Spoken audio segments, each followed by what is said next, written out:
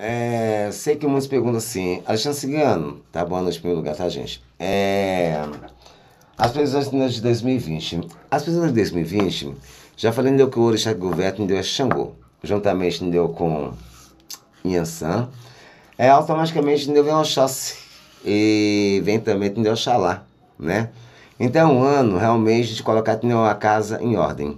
Você entendeu que muitos aí entendeu, falar assim, ah, eu acertei, entendeu, é, o Sérgio Moura saindo. Não, joga na página Deixa Cigano.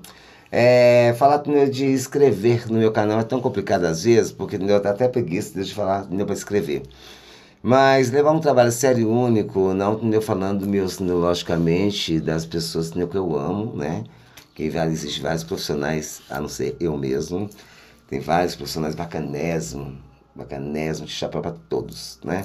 Hoje eu não, tô, não sou de julgar, sou Deus sabe que de aplaudir cada um com seu item. É, mas levar um trabalho não é eu falar Deus sobre desgraça, falar Deus sobre coisas boas, entende? Então assim, vamos dar agora uma corrente de paz, amor, de muita força, de muita luz e de muita energia.